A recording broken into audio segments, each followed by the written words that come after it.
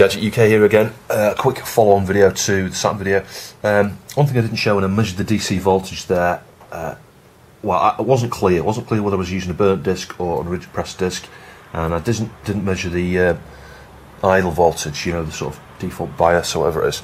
So you can see there uh, I've got it in minus again, just because, like I say, I the probes. My negative probe's got a really sharp point on it, so I'm using the negative, uh, you know, to measure the points of the RF test pad. So you can see there, minus 2.561. Now that's with the tray open. It's not doing anything, so I'll uh, close the tray uh, and we'll just monitor that whilst it spins up. Uh, in fact, I'll just switch it off and on.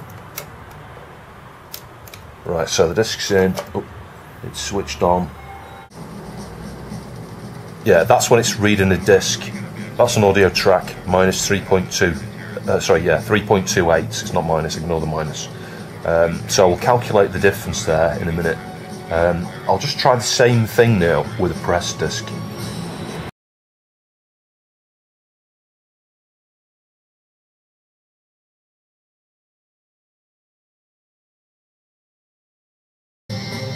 So there we go, that's with a press disc on an audio track 3.42